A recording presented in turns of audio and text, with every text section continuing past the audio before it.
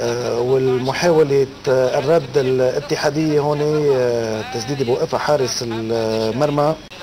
لحديث ما رح بينال فريق النصر على ضربة جزاء.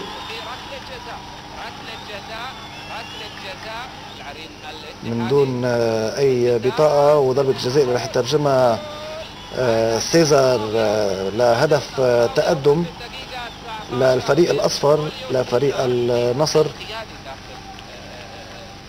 واحد صفر آه، للنصر. بعد هدف النصر بشوي هذا الهدف اللي اجى بالدقيقة 20 فيصل سيف آه، بمرر كرة خطأة لنور اللي بمرر بدوره لسيرجيو. بيتقدم وبيسدد والكرة بتتحول من قدم الخثران بتغير اتجاهها وبتروح لاتجاه المعاكس لمحمد شريفي الحارس آه، النصراوي. وهذا الهدف آه، اللي بيعلن هدف التعادل. نتيجة بتصفي واحد واحد. بعد هالهدف اللي عم نرجع بنشوفه مرة جديدة كيف الكرة تنحرف من مرميها بعد ما كان اختار الحارس آه، مطرح ما بده ينطلق فيها. آه، طرد مهاجم النصر آه، كيتا.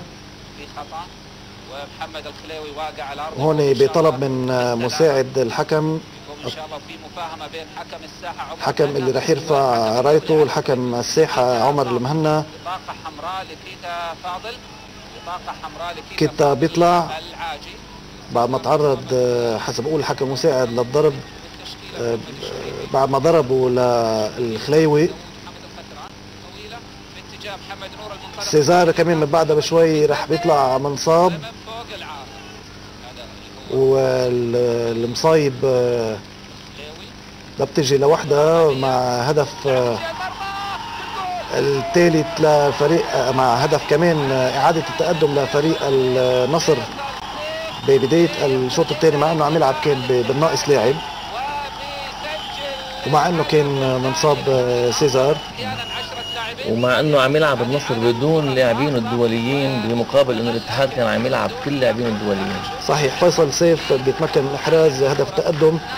الهدف الثاني لفريق النصر بعد كرة من الخثران لكن الاتحاد آه، كان خصم عنيد آه، بهالمباراة وراح بينجح إنه يستفيد من آه، محاولاته العديدة ل دك مرمى فريق النصر محاولة نصروية. وسيرجو بالنهاية رح بينجح إنه يسجل هدف التعادل لفريق الاتحاد بعد سلسلة من الهجمات المتكررة. كرة بتوصل لسيرجيو اللي بيسجل بعد الرغم من تدخل الحارس. والمباراة هيك بعد في هون سيرجيو عم يسجل هدف التعادل 2 2 وفريق الاتحاد عم يضغط بقوة لحتى يسجل هدف ثاني صار له عدة فرص.